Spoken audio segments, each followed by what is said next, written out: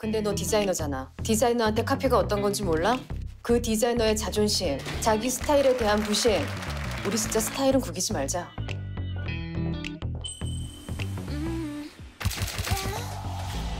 이미 만났을 수도 있었겠네요.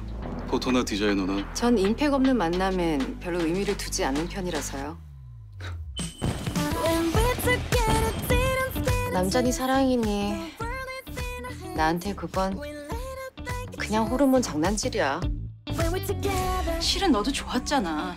고등학교 때부터 지금까지 20년이야. 내가 널 몰라? 왜 모른 척했어요? 왜 아는 척 해야 하는데요? 부산에서도 멋있더니 여기서도 멋있네.